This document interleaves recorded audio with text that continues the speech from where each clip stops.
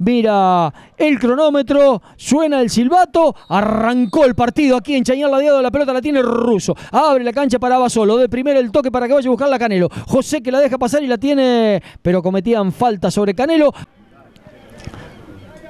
se mueven en el área los jugadores, bien mano en alto del árbitro, va a venir el centro de Caruso, viene el centro, la peinaba Costa, el balón que se va por el línea de fondo, será tiro de esquina para Independiente. Se la sacó de la cabeza a Palaro que llegaba por el medio, por detrás también aparecía Abasolo, una gran salvada de Costa. Va a venir la ejecución de este tiro libre, agazapado Arzuaga. Va Martín Ure por arriba. La pelota que se va apenas desviada. Será saque de arco para Independiente. Qué cerquita que pasó ese remate por encima de la barrera.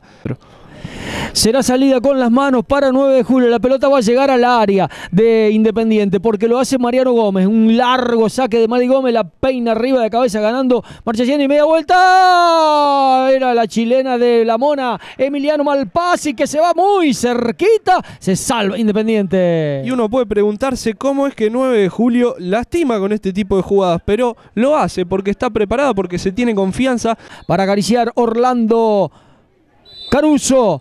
Va a venir el envío de Caruso, le pegó al arco. ¡Travesaño! ¡Travesaño! La pelota que pega en el travesaño cuando se estiraba Leonel Poropat. El balón por el fondo se acaba de salvar el 9. Y decíamos que no venía ejecutando bien Independiente en la pelota parada y ahora sí, Caruso en esta. Va a venir el centro a buscar, ya llega Joaquín Russo también. Viene el centro al segundo palo, arriba saca Costa de cabeza, gana todo Costa en el área. Cabecea Russo, la va a buscar de remate.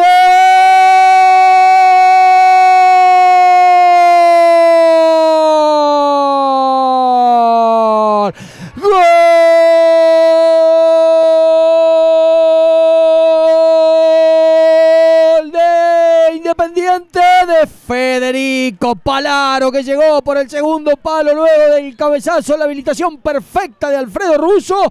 Palaro que saca un remate seco, fuerte, cruzado, arrastrón. Nada que hacer por Opat. Independiente 1. 9 de julio 0. Y llega a los 21 el tanto que abre el marcador en favor del coreano. Lo hizo Federico Palaro, como bien lo decía Rubén. Y bien decía, perfectamente habilitado. A pesar de las protestas de la gente de 9 de julio, estaba por detrás del último hombre, el volante coreano, que recibe de cabeza de parte de Alfred Russo. Remata cruzado, nada que hacer para Poropat. Abre el partido el número 8. Y acá Ferreira que le pide a Costa que se calme con las protestas. Largo el envío de Mariano. Devuelve Russo Alfredo. Malpasi. Arriba de cabeza y gol. Nano Ferrari. Muy buena respuesta de Arzuaga. Excelente atajada de Lautaro porque era una pelota de pique al suelo. Le había conectado con la frente el Nano Ferrari bien por el arquero coreano. Arzuaga viene el centro de Ure buscando a Cabral, pero no llegaba porque Russo la tenía y la recuperó Ure. Ure el remate al arco. El arquero que la cachetea, la toca con lo justo, con la punta de los pies, de las manos, digo. ¿Qué digo con los pies? Con la punta de las manos para sacarla al córner. La recupera Mariano Gómez, pero la entrega mal, por eso corta Russo que jugó para Palaro. Va Federico, levanta la cabeza, la mete en Caruso. El remate es controlado por Poropat. Estaba bien ubicado Poropat y no tenía demasiado ángulo Caruso para ese remate, pero fue un buen pase en profundidad de Palaro. Sale 9 de julio con el chino Benítez, toca para Suárez, Brian y la pelota, pelotazo buscando a Malpasi, la bajó Emiliano, la jugó para el Nano Ferrari, antes Russo, le queda la pelota a Ure, Ure el remate, por arriba, por arriba del horizontal, será saque de arco para Independiente. Vuelve a avisar el número 10 que está siendo de lo más peligroso, ya lo había hecho en el final del primer tiempo, en esta ocasión con un remate que se va por arriba. Sigue Benítez, cruza la línea divisoria. La descarga es para Martín Ure. La tiene Ure, la diagonal hacia adentro. El toque para Suárez. Va jugando con el nano. Ferrari que abre. Fer le pega al arco. Apenas desviado. Apenas desviado el remate del nano Ferrari. Hay saque de arco para Independiente. Le quedó a Ferrari. Media vuelta, zurdazo al ladito del palo izquierdo, lo tuvo al empate. La pelota que le viene quedando a Canelo. Caruso. Canelo, y mirá cómo pasó Alfredo, mirá cómo pasó Russo, va Canelo, sigue Canelo, sigue Canelo, el remate al arco, Poropat, la pelota que la va a buscar Taparelo, tocó para Russo, Alfredo y la pelota, el remate de Russo, no, el centro, arriba de cabeza la va sacando Mauro Marchesiani, Caruso que le queda la pelota, el centro de Orlando, Taparelo que intentaba una chilena, el chino Benítez con la pelota, lo va buscando al Nano Ferrari la habilitación para Uria, línea de fondo. Y el árbitro indica saque, Saque de, de arco. arco. La verdad, fina la jugada. No me animo a decirle si fue infracción o no. De en primera impresión me parece que Ure se tira, pero creo que es para revisarla. Está solo, no tiene a nadie pasando, por eso jugó hacia atrás para Caruso. El enganche de Orlando. Sigue Caruso. Un nuevo enganche. Y ahora va Caruso. Y va Caruso. Y quiere sacar el remate. Y no puede. No consigue sacar el remate. Lo marcan bien. Caruso y el centro. Se pasó de largo Taparelo. Por el segundo palo. Viene entrando. Penal. Penal para Independiente. Entraba por el segundo palo. ¿A quién le cometen el penal, Bruno? Le cometen el penal, si no me equivoco, a Canelo, a José Canelo. Ahí se reincorpora, sí. A José Canelo. Fue Mari- toda, fue toda de Caruso la jugada. Toda de Caruso. Que una- cruzó- un jugadón de Caruso. que cruzó de derecha a izquierda, de izquierda a derecha, que se las arregló para sacar el centro. Y José Canelo venía por la espalda del defensor de 9 de julio, que se lo lleva puesto. Y ahora una inmejorable posición de gol va a tener Blas Taparelo. No vio la amarilla Martín Costa por la protesta. No llegué a ver si termina siendo eh, Madi Gómez o Boneto el que lo baja Canelo. A ver. La amarilla en el aire para Yagante. ¿Para Yagante o para el chino Benítez? A Me ver. parece que fue para Benítez la amarilla.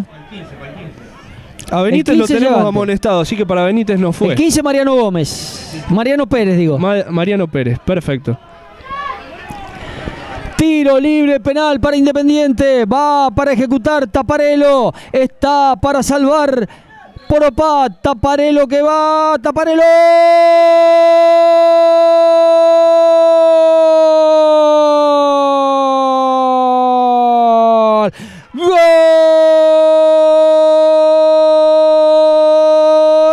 Independiente de Blas. Taparelo. Independiente 2. 9 de julio 0. Y si esto no cambia, cuando ya llegamos a los 39 minutos, minuto en el cual convierte Taparelo, ya le digo que el número 9 es la figura del partido. Abasolo, Aguirre, pasó Ariel, a línea de fondo, el centro de Aguirre, pasado al segundo, por allá va Canelo, el enganche de Canelo, a línea de fondo, sigue Canelo, Canelo, Canelo, el centro atrás, no pudo Aguirre, no pudo Aguirre, se pasó de largo, pero ¿qué pasó ahí? Penal, Penal. Penal contra Penal. Canelo. para Independiente, jugadón de José Canelo, Y qué bien que la hizo Aguirre, ¿eh? que casi convierte. casi convierte a Ariel Aguirre, pero había penal cometido sobre José Canelo. Queda, ¿Y quién lo va a patear ahora? para mí va Caruso. Queda tendido Canelo, a ver.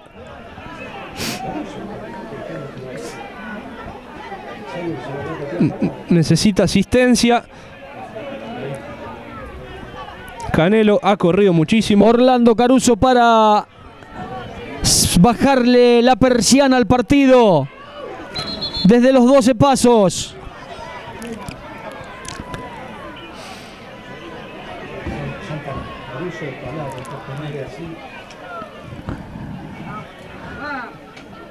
Acomoda y le va a entrar Orlando Caruso. Que ha jugado un muy buen partido. Un gran partido de Caruso. Gran partido de Orlando Caruso. Va a venir el remate. Va Orlando.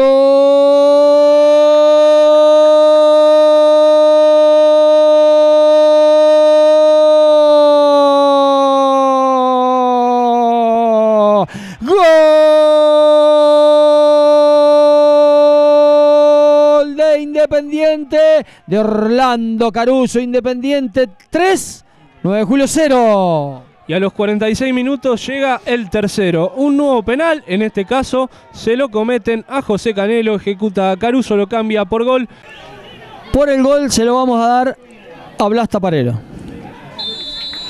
Cuando suena el silbato indicando que finalizó el encuentro aquí en el Coloso de Chañar Ladeado, Independiente con goles de Taparelo, Caruso de tiro libre penal y Federico Palaro se impusieron ante 9 de julio por tres tantos contra cero. Bueno, estamos aquí con Blas Taparelo, la figura de Independiente en este partido, quien convirtió el 2 a 0 de penal. Antes de comenzar la nota, como hemos hecho en el partido anterior, con Rubén le vamos a hacer la entrega del premio que otorga la transmisión de CL3 Cablevisión a la figura del partido. Como dijo Bruno, por ser el mejor jugador del partido, CL3 Cablevisión te entrega este presente. Muchísimas gracias. No, a vos. Bueno, Blas, ahora sí metiéndonos en lo que sucedió en el partido. Eh, antes que nada, ¿cómo lo prepararon en la semana, sabiendo que iban a enfrentar a un equipo que venía a ser el último campeón, que llegaba con ritmo y con buenos resultados? No, en la semana eh, estuvimos bien. El primer partido nos dio un empujón anímico y muy bueno. Estamos muy bien grupalmente y bueno, eh, lo preparamos de la mejor manera. Eh, nosotros sabíamos que ellos iban a jugar la pelota parada y bueno, tuvimos que jugar a ellos.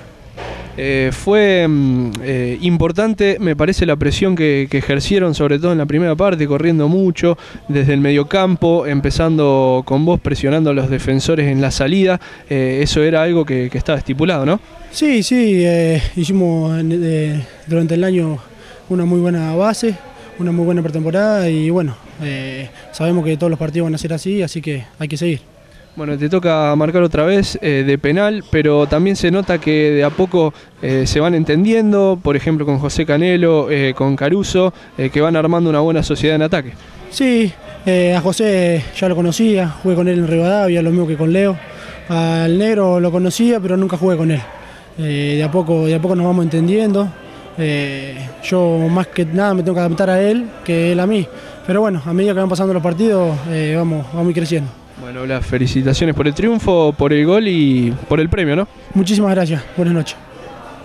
Ahora estamos con Fernando Benítez, volante de 9 de julio, eh, que nos va a estar contando cómo vio el partido eh, que acaba de, de disputar ante Independiente. Bueno, Chino, eh, antes que nada preguntarte eh, cómo llegaron a este encuentro después del desgaste que significó haber jugado por Copa Federación. No, llegamos un poco desgastados, pero tratando de llevarnos un buen resultado y no lo, no pudimos conseguir porque entramos dormidos, creo, y ellos no sé si nos generaron tanto, pero llegaron mucho con pelota parada y creo que ahí nos sacan la diferencia, creo que por errores nuestros nos terminan convirtiendo. Termina siendo quizá un poco exagerado el resultado, ¿no? Eh, fue un poco más parejo eh, el trámite y no se reflejó en este 3 a 0. Sí, como decís vos, el resultado es exagerado, pero el fútbol es así. Los goles, si no los haces, te los hacen en tu arco. Y creo que nos pasó eso.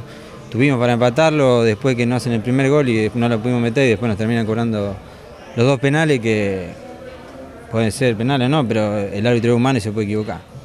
Eh, bueno, Chino, nosotros siempre no- nos encargamos de, de destacar que ustedes tienen un plantel muy largo, de, de muy buena jerarquía, que eh, jugadores que quizá a veces no aparecen como titular suelen hacerlo muy bien en el momento que les toca ingresar. Pero ¿te parece que se siente ausencias eh, como en el caso de Andrés, de Julián Uriarte, de Quimei, que son jugadores de, de mucha categoría? Sí, como vos decís, se sabe que son jugadores muy importantes para nosotros y se sienten, pero también estamos preparados porque somos un equipo largo, como decís vos, y los que entran también cumplen. Bueno, a pesar de, de esta derrota, ustedes llegaban muy bien en cuanto al juego, en cuanto a los resultados. Eh, seguramente no se sale de, de otra manera que, que trabajando en la semana, ¿no? Sí, seguro, como decís vos, esto, de esto se sale trabajando y a seguir metiéndole. Bueno, Chino, muchas gracias. No, hasta luego.